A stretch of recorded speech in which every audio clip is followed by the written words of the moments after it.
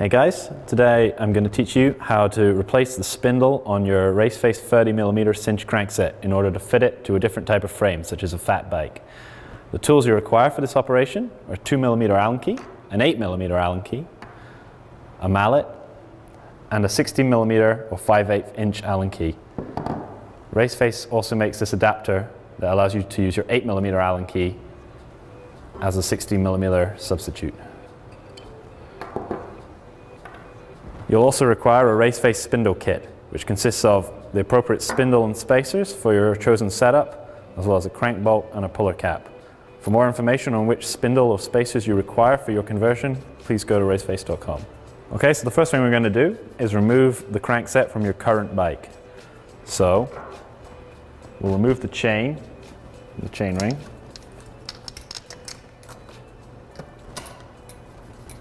We then take our 8mm Allen key and we locate that into the drive side crank bolt. And we're then going to loosen that off. And this is a self-extracting crank bolt, so as we turn, the crank will back off from the spindle. We just turn that until the crank comes away. We put that to one side.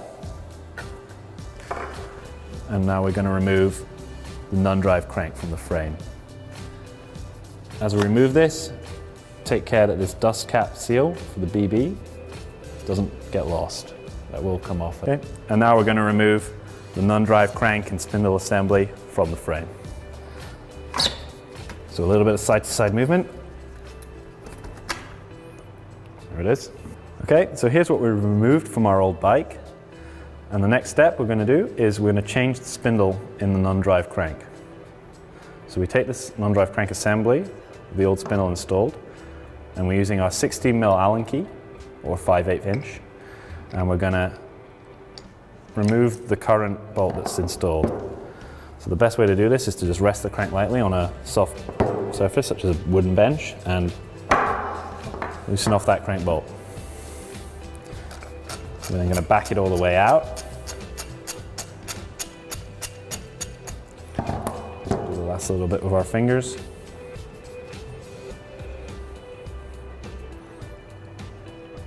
And there's your non-drive crank bolt. Make sure you get the washer there, that comes with it, and set this aside in a safe place. We then take from our spindle conversion kit the crank bolt, the smaller crank bolt with the washer, and we're going to install that into the crank arm.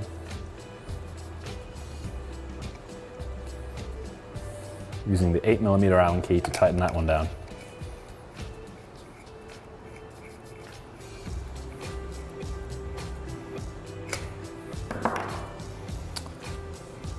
Next step is to take the puller cap, which again uses a 16 mil or 5 8 inch Allen key, and that needs to be tightened down too. With the uh, puller cap here, it just needs to be 20 newton meters, so not really, really tight, just snug. So again, we're to tighten that down. That should be enough. Now that that's installed, we can use the 8mm key to back the spindle out of the crank by unthreading that smaller crank bolt we just installed. And as you can see, the spindle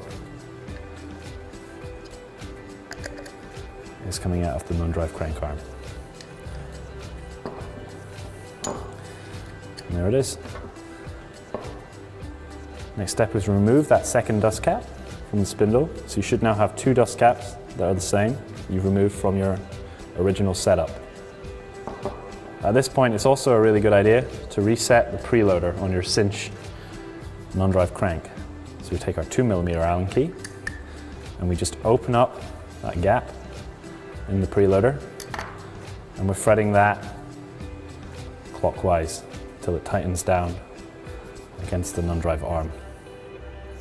Also at this point, if you are planning on running a different chainring or spider on your new bike setup, you'll want to change this.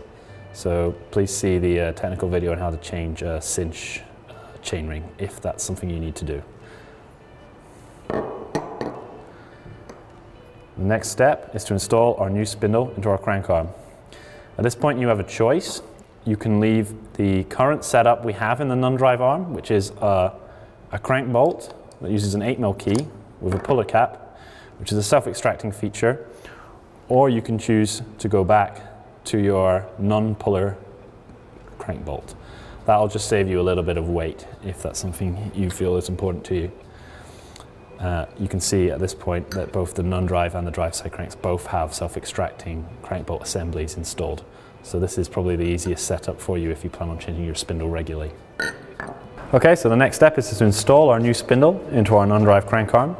You can see here the new spindle I'm installing is longer than the previous spindle. So the first thing we do is grease the interface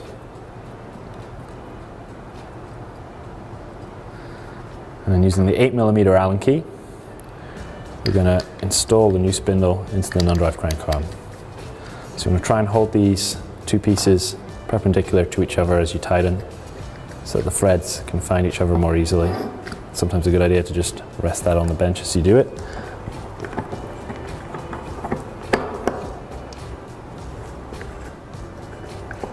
There we go.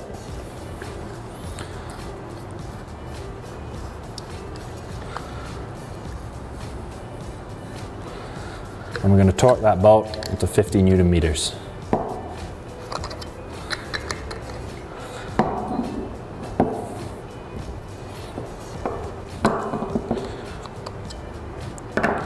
Okay, the next step is to, if you have any spacers that need to be installed on the non-drive side for your new crank setup, you need to install those now.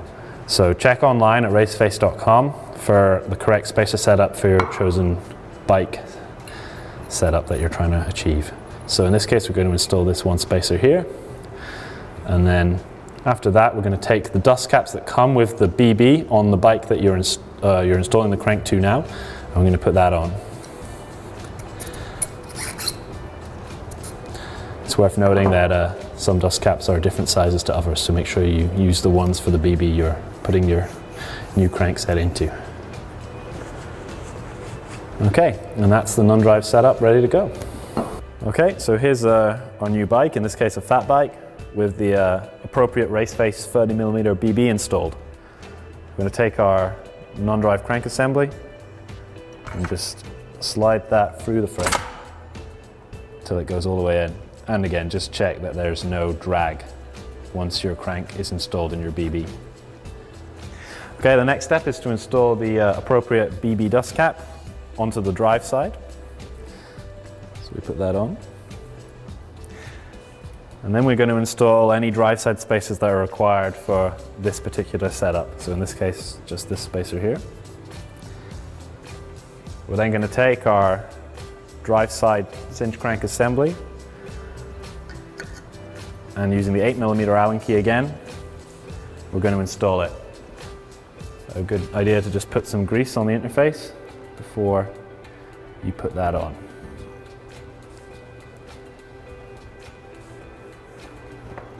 And again, as we put this on, we just want to make sure that we're keeping the crank arm nice and perpendicular spindle and we're trying to find the uh, splines on the on the spindle, make sure they're kind of partially engaged and that'll make it easy to find the threads and tighten that drive side crank arm.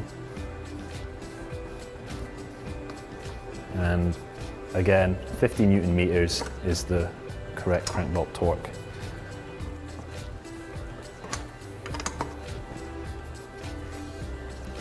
Once that's tightened down all the way, you just want to push the drive side crank all the way in and use a mallet for that if you need to. Okay, so the last stage of this uh, process is to preload our new BB.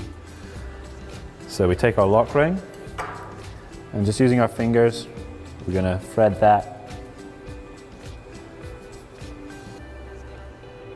until it snugs down and preloads our BB bearings. That's all that's required, just finger tight. And then we take our 2 millimeter hex key and we locate the split in the preloader ring and the crank and the little bolt there. And we're just going to tighten that up till the gap closes. No further than that. That's all that's required. And there you go. There's a fully installed, converted cinch crank set ready to go on your new bike.